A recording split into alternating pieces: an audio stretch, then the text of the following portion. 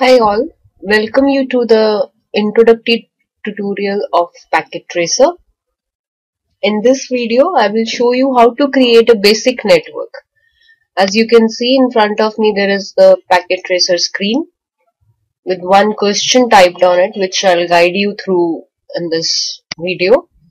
Create a logical network with two PCs and a hub.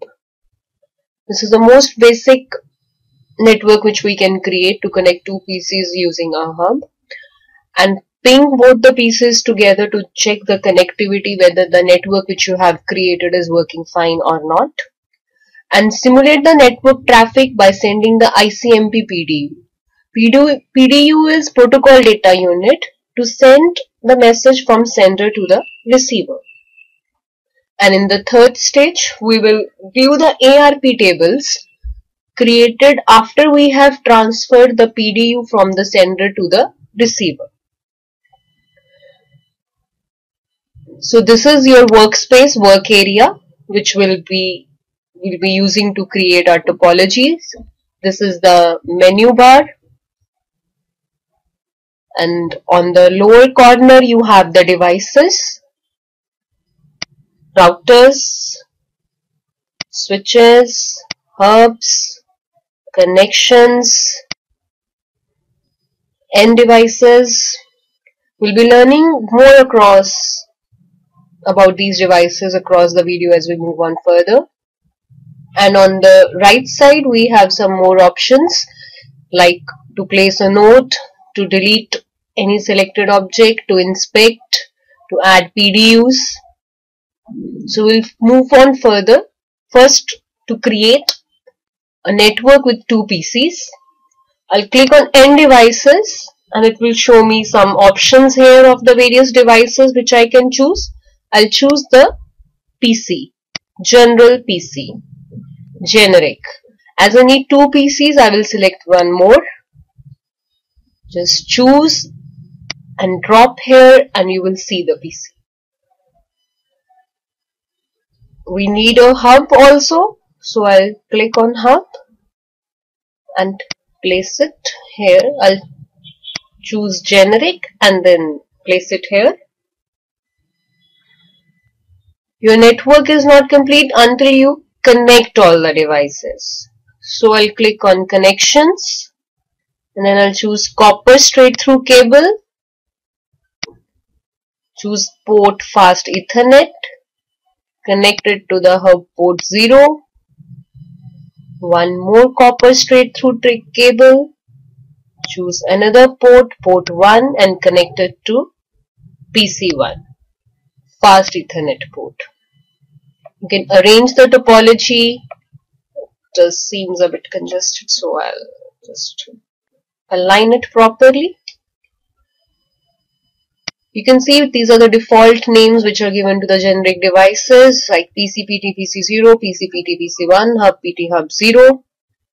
You may also notice the green lights being shown here which indicates that your network till now is configured properly. If your lights are amber in color or red, in, the indication is that there is some problem in the network. So I'll start here. I'll first rename these PCs. Let us say this PC is being used by someone who is working in the company in the sales department. And this is the PC being used by someone who is working in the company's marketing department. So I'll name it as sales. This first PC as sales and this as marketing. Then I'll click on it and I'll go to desktop. I'll click on IP config. The IP address I will assign 192.168.1.2. Click on the subnet mask. Let it be the default which is assigned.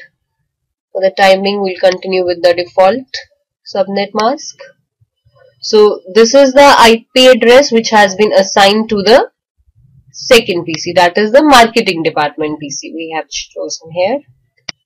Similarly, we need to assign the address to the sales PC, desktop, ipconfig, static, 192.168.1.1 subnet mask close now once we have assigned the IP addresses we need to confirm the connection has been established whether it is ready to transfer the packets or not. So what we will do click on it. In the desktop tab go to command prompt. And from first PC ping the IP address of second PC so second PC's IP address was that is marketing department PC's IP address is 192.168.1.2 and enter. You receive the reply that means the connectivity between sales and marketing PC is fine but we'll have to verify from the other side as well whether you can ping from the marketing the sales one click on it. Command prompt. Ping the IP address of the sales PC 92.168.1.1.1 enter. You receive the reply. So if you receive the reply from both the sides congratulations. Your network has been set up properly. The connection is working fine so now we move on to the second step that is simulate the network traffic by sending the ICMP PDU. To complete this, I'll have to go to the simulation mode which is on the right hand lower side of your screen. Click on the simulation mode.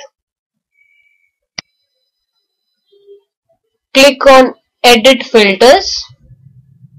You will see many of the protocols named here but as I require only to send the ICMP PDU I will click once on show none and then choose ICMP and click somewhere else on the screen.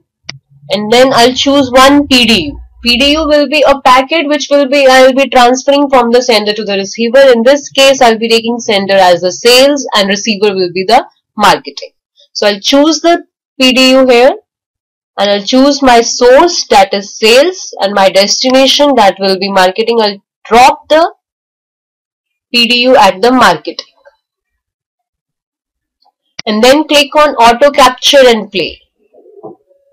You will be able to see in the event list on the side the communication between the PDU as it is being transferred from one device to another from sales to hub 0, from hub 0 to marketing, from marketing back to hub 0, from hub 0 to sales again.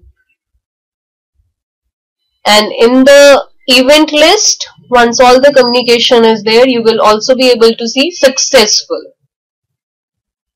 You can see here I have selected that successful.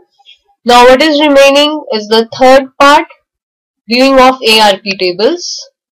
I'll go back to the real-time mode. This is the inspect tool we have. I'll click on the sales and ARP table.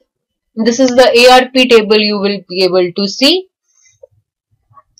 The IP address of the marketing PC is mentioned here in the ARP table and the MAC address along with the interface through which it has to communicate with that device. To reach marketing PC, it has to go via sales. Fast Ethernet port. Similarly, you can do here ARP table 1.1 the MAC address 192.168.1.1 is the IP address of the sales PC. Hardware address is 00D0.5818.2EE9 and interface is fast Ethernet. You can also click on port status summary table. It will show you the IP address. Link is up. Up means it is functioning properly. If it is down, that means there is some error. You'll have to troubleshoot it. IPv6 address we have not set. MAC address as it is mentioned. DNS line number we have not used any so it is not there. We'll do all these things in the upcoming videos. The one thing which should be noticed here is when we saw the ARP table, we saw the addresses of the devices with which we had to communicate. See, the this is the table which I have opened port status summary table for marketing. For the marketing, the IP address is 1.2 with along with default subnet mask that is slash 24 and MAC address is 00E0F9E0.360 which you could see when you clicked on the ARP table of the sales table. This entry is made so that next time when it has to when sales has to communicate with the marketing PC this will be the address which will be this will be the table which will be referred. Thanks for watching the video. This finishes off with this tutorial.